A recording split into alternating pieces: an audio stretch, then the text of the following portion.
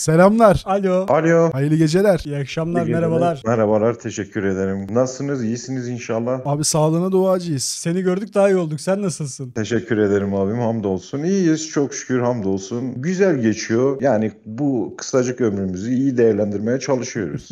bir anda dini sohbete bağladık seninle. yok yok Allah- Allah... değil. Şimdi şöyle düşün- benim şöyle bir düşünce tarzım var. Bir defa dünyaya geliyoruz. ikinci bir defa gelme şansımız yok. En azından bu bir defayı iyi değerlendirmek lazım. Evet, Evet abi. Başladın. Ee, önce sana, sonra da yeni gelen bir defa hayata gelecek izleyicilerimize selamlar olsun.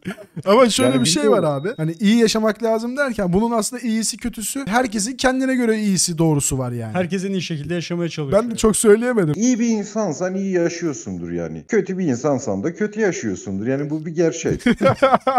Aküyü çalıyorsun diye kapı açıyorsun abi. Bize kendini tanıtır mısın? Neler yaparsın, neler edersin? Ben programımıza Van'dan katılıyorum. Van merkezde. Mermer granit üzerine iş yerim var. Bir yaklaşık 15 yıldır taşlarla haşir neşiriz. Taşları seviyoruz. Onlar da bizi seviyordur eminim. Bilmiyorum çocukluktan gelen bir hobi mi diyeyim ya da e, oyuncaklarımız olmadığı için çok fazla taşlarla oynadık mı diyelim. E, Hatırlıyorum. taşlara karşı evet taşlara karşı çok büyük bir e, sempatim var. Ama E, hayatımda ilk farklı- kez taşı seven bir insanla konuşuyorum. Yani toprağı seveni duydum ama ta- taş ilk yani. Biz ufakken böyle Evet. taşı duvara daha yakın kim atacak falan diye. Daha sonra siz zamanınızda onlar parayla olmaya başladı. Sen bilmezsin o zamanları. Biraz taşı fazla eline Benim daha galiba. çok işim hayvanlarlaydı abi mesela ama hayvanlara dayalı bir iş yapmıyorum. Mesela karınca falan bayılırdım. Lakabım abim bilir. Karınca babaydı çocukken. Ma- maalesef Evet. bir Nesquik dolusu karıncayı pazarda düşürüp bütün herkesi günahkar yaptı. Evet ben çok Bütün severdim. Örümcekler, karıncalar, Neyse. uzmanlık Ee, alanı. Ki yani bitti. belki inanmazsınız ben geçen karıncalarla ilgili büyük bir akvaryum yapmayı düşündüm. Evde karınca besleyeceğim büyük bir akvaryum böyle. Hanım izin vermediği için askıya kaldırıldı şu an. Ama inşallah yapacağım öyle büyük bir akvaryum yapacağım karıncalarla Bence mükemmel bir karar abi bu arada. Yani sizin de hobiniz falan varsa bence çok güzel. Yani karınca çok zevkli bir hayvan. Ben hiç evimde böyle bu şekilde şey yapmadım ama dışarıda da çok iyi analiz ettiğim bir hayvan. Yani sürekli böyle yuvalarına giderim, bakarım. Bilmiyorum yaşam tarzları çok hoşuma gidiyor. Hayvan türlerinin en çalışkanı. Evet mü- mükemmel bir sürü halindeler. Bilmiyorum çok senkronizeler yani anladın mı? Çok Bunu keyifli. ben sadece şuna bağlıyorum. Ufakken işte geçen bölümde de söyledim. Seni düşürdüğümde o aldığın hasarla alakalı.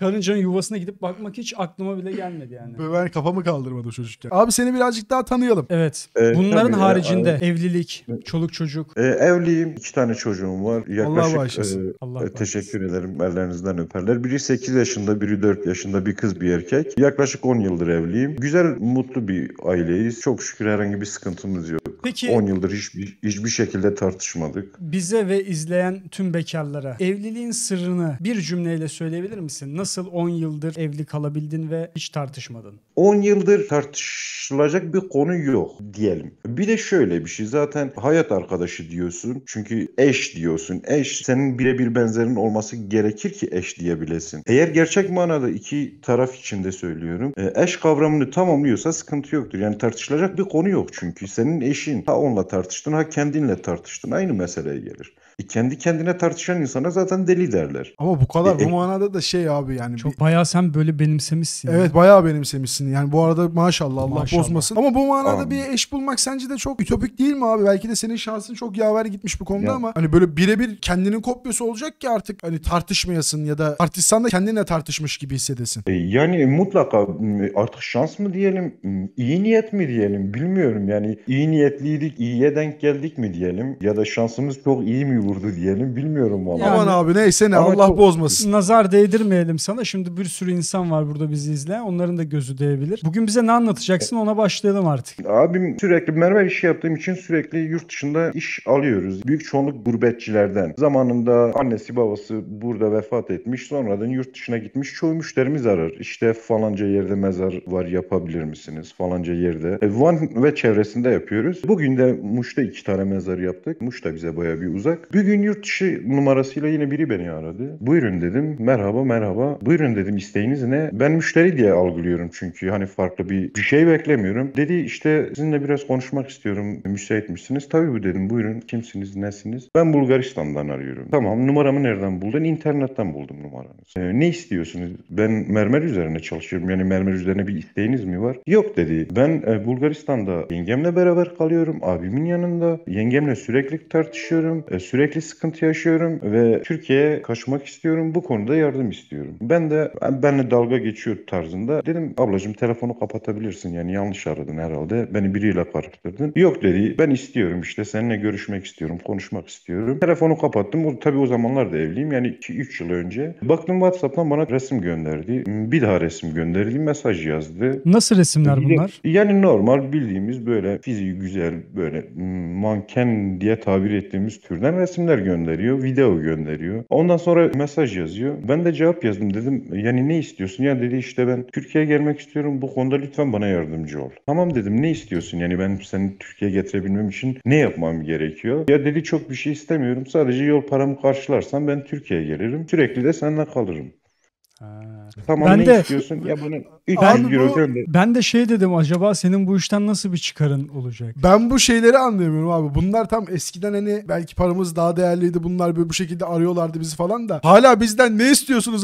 A**ayım? Ben hala bunu anlayamadım Doları, yani. euro istiyorlar. Ama 3 yıl önce de paramız değerliydi zaten. Önceden değerliydi tamam. Yani bunlar 15 sene öncesinden böyle bunlar zaten Bulgar kadınlar Türkiye'ye gelmek için can atıyor. Ruslar Türk erkeklerine bayılıyor bitiyor. Bunlar şey yani gazete manşeti bunlar. Tamam. Lan daha bizim olmayan paramızın zaten daha neyini istiyorsun? Şimdi onun Türkiye'ye gelebilmesi için 300 euroya ihtiyacı varmış. E tabi bu da büyük ihtimal rüyasında görmüş. İşte bu 300 euroyu verecek hayırsever bir iş adamı var. Van'da mermer işi yapıyor. Telefon numarası da bu. Buna rüyada bildirilmiş büyük ihtimal. %90 Her neyse, abi aradım. %90. Evet aradı beni. Tamam dedim. Ne 300 euro? Tamam yetiyor mu sana 300 euro dedim. Yetiyor dedi. Ben gelebilirim. Sıkıntı yok. Tamam dedim. Tamam dedim de bir hafta 10 gününe yakın böyle sohbet ediyoruz. İşte resimler geliyor, videolar gidiyor falan filan. En son dedi ya işte sen parayı gönderecek misin, göndermeyecek misin? Tabii dedim ya göndereceğim de sen hiç hesap numarası vermedin ki bir haftadır. Yani hesap numarası vermediğin zaman ben nasıl gönderebilirim ki sana? Tamam dedi ben hesap numarasını atıyorum. Bir hesap numarası attı. Bilmiyorum, anlamıyorum da böyle o hesap numaralarından. Arada bir iki saat geçti. Ben aradım bu defa onu. İlk defa ben onu aradım. Dedim bana attığınız hesap numarasına biz para transferi yapamıyoruz. Ya nasıl olur işte falan e, sıkıntı yok. Daha önceden de bu hesaba arkadaşım için para gelmişti dedi. E dedim bilmiyorum ben şimdi muhasebeciyi aradım. İstiyorsanız muhasebeciyle görüştüreyim sizi. Ona izah edin. Yok dedi ben onunla konuşmayacağım sen söyle. Dedim muhasebeci demiş ki biz Türkiye'de çalışmadığımız ülkelere para transferi yapamıyoruz. Yani bir ülkeye para transferi yapabilmemiz için önce o ülkeden bizim hesabımıza para yatması gerekiyor. Tamam dedi nasıl olacak? Dedim siz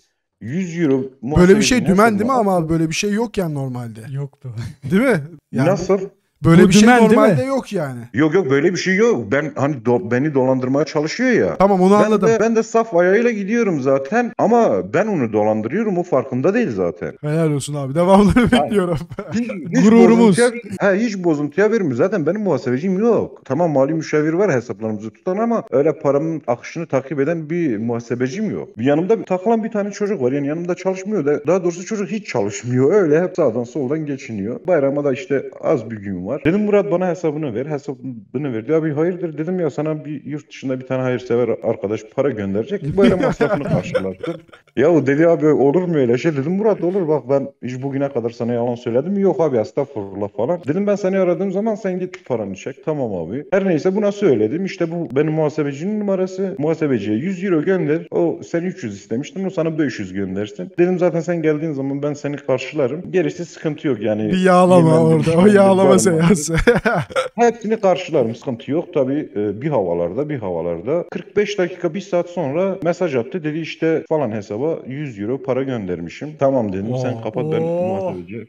Gönderdi yani abi. Ben hiç göndereceğini beklemiyordum bu arada. E, yok gönderdi. Şimdi kaz gelen yerden tavuk esir gelmez. 500 euro gelecek. Yani 100 euro vermiş çok. Ama bunlar çok tehlikeliler Artık- abi normalde. Bunlar var ya felaket uyanıklar yani. Sen nasıl bunu kandırdın inan anlamadım yani. şu Ama an. güzel taktik. Belki işe yarar yani. Bunu Evet. bizim başımıza da Çok- gelirse belki biz de birer yüzer euro koparabiliriz. Yani çok safı oynayacaksınız. Akıllı değilmiş. Hani çok böyle sosyal medyaymış, şuymuş, buymuş hiç haberiniz yokmuş. İşte daha yeni yeni milletin içine çıkmış bir tavırla yaklaştığınız zaman Şeyle bak kafandaki şu olacak abi böyle bak. İlk şey bir cümle. Aha karı. Kendini Ha, bunu kodlayacaksın yani böyle anladın mı? Hani aha karı böyle ilk defa görmüş gibi davranacaksın. Hemen ona. gel. Hemen, gel Seni diyeceksin. oradan bile gelir alırım da sen yeter ki Sen gel. yeter ki gel. Ben bu parayı atamıyorum. Gerçekten de sağ olsun. O bayram Murat'ın e, ihtiyaçlarını karşılamasaydı mecburen ben yani 300-400 lira, euro değil tabii 300-400 lira ben Murat'a verecektim mecbur. Çünkü bayramdı genç bir çocuk. Gönderdi. Murat'ı aradım dedim Murat senin hesabına para geldi. Parayı çek kendine işte kılık kıyafet ne gerekiyorsa al. Dedi tamam abi teşekkür ettim sağ ol işte gönderenden Allah razı olsun falan filan.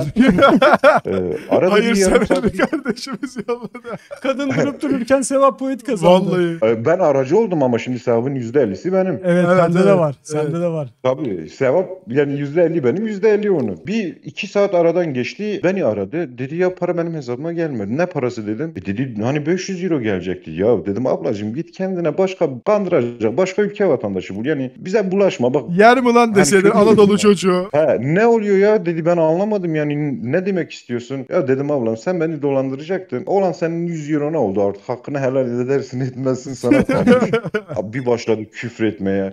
Ben seni mahkemeye vereceğim. Ben seni şikayet edeceğim. Ben seni süründüreceğim. Belki 10 gün 15 gün boyunca telefonla ses kaydı atıyor. Arıyor mesaj atıyor. Tehdit ediyor. Abi en sen- son baktı benden bir şey çıkmayacak galiba. Ondan sonra vazgeçti valla. Seni de tam bulan yani Bulgaristan'ın harbi şeyiymiş. harbi o, o insanıymış yani. Peki sana bir soru Yani- soracağım ya aklıma takıldı. Bu Murat dediğimiz arkadaş peki ya bu parayı alıp gidip Bulgar bir karıyla yediyse? ya parayla Bulgar'a gittiyse? Yani bir şey olmaz. Para yine gelen yere gitmiş oluyor da ya işin kötü tarafı Murat hala çalışmıyor. Yazık.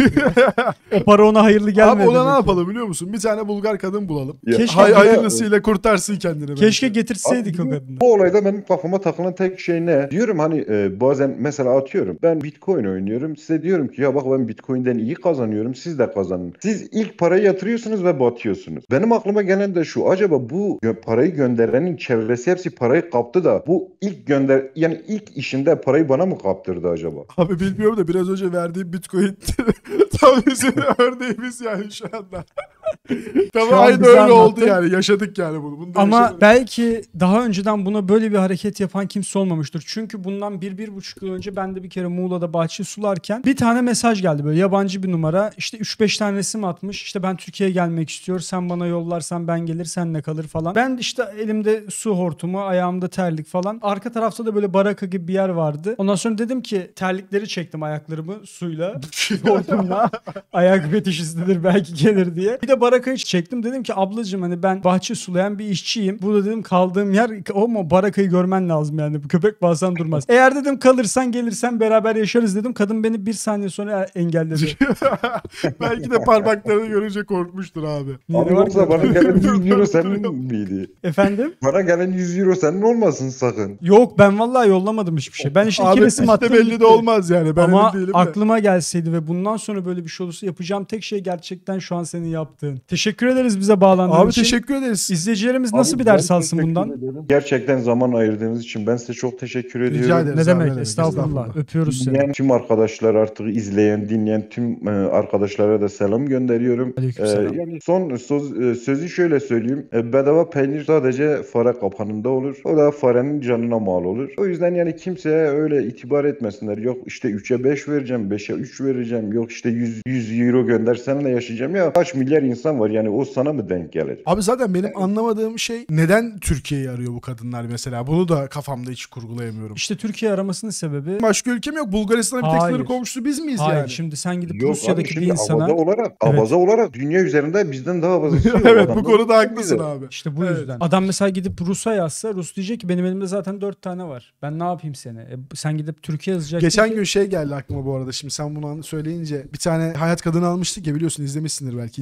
izlemediyseniz siz de izleyin. İzledim, izledim. Kız orada şeyden bahsetmişti. Hani erkek değil mi zaten kabul eder falan diye. Bu Doğru. bu bu prestij çok kötü bir şey be abi ya. Beni Bunu var ya o yapıyoruz. harbiden üzdü yani. Ama hani bunu biz yapıyoruz. bu gerçekten böyle. Hani ben böyle olduğu zaman gerçek erkek olmaktan utanıyorum yani. Biz de Doğrudur. böyle. Vallahi yani bizden kaynaklanıyor. O Evet. yüzden de hani e, büyük ihtimal bunlarda ilk denemeyi yapan her kimse çok iyi bir para kaldırmış ki bunlar onu örnek alarak sürekli Türkiye üzerinden oyun oynuyorlar. Yani haftada bir kişi bulsa bile iki kişi bulsa bile ek iş gibi düşün. Yani taş atıp da kolum mu ağrıyor? Vallahi Olsun. Sen abi Anadolu'nun gücünü göstermişsin. Evet, bizim- Seni bütün Türkiye'de belki benim değil ama bu videoyu izleyen belki bir kişinin veya bir tanıdığının öcünü almışsın. Evet, Sonuçta paramızın evet. bir kısmını İçimiz çıkartmışsın. soğumuş abi. Teşekkür ederim. Teşekkür bir şey ederiz. için. Parayı Murat yedi. E, yani afiyet hoş olsun. Yani o e, Bulgaristan'dan da bizi izleyecek olanlar belki olur. E, yani size kısa bir tavsiye bize bulaşmayın kardeşim. Gidin farklı yerlere bulaşın. Abi seni bir daha tekrar böyle arayan falan olursa ben sana şimdi hesap numaramı atacağım.